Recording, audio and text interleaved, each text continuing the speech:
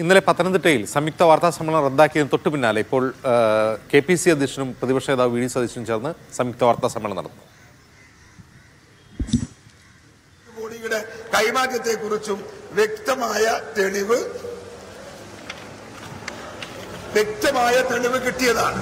ഇതിലെ തൊണ്ണൂറ്റിയഞ്ച് കോടിയും പി ബിക്ക് കൈമാറിയെന്നാണ് പി ബിക്ക് കൈമാറിയെന്നാണ് പിണറായി വിജയൻ പാർട്ടി പറഞ്ഞതും പുറത്തു പറഞ്ഞത്. പി ബി പൊളിറ്റ് ബ്യൂറോയിൽ ആ പി ബി പിണറായി വിജയനല്ലാതെ മറ്റാരുമല്ല എന്നത് ഒരു യാഥാർത്ഥ്യമാണ്.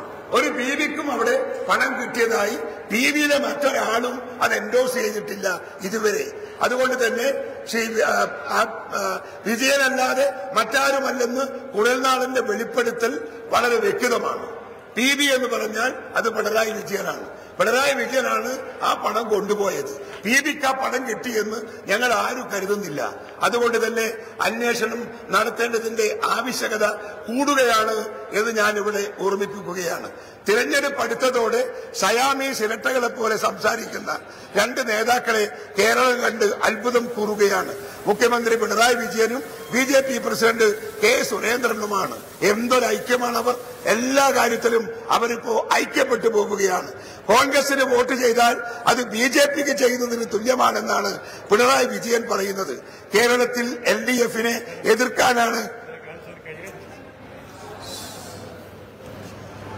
കേരളത്തിൽ എൽ ഡി എഫിനെ എതിർക്കാൻ ബി ജെ പി മാത്രമേ ഉണ്ടാകുകയുള്ളൂവെന്ന് സുരേന്ദ്രനും പറയുന്നു.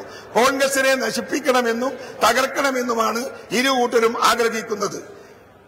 രണ്ടായിരത്തി ഇരുപത്തിയൊന്നിലെ നിയമസഭാ തെരഞ്ഞെടുപ്പ് മുതൽ പ്രവർത്തിച്ചു വരുന്ന ഈ കൂട്ടുകെട്ട് രണ്ടായിരത്തി ഇരുപത്തിനാലിലെ ലോക്സഭാ തെരഞ്ഞെടുപ്പോടെ കൂടുതൽ സുദൃഢമായിട്ടുണ്ട്.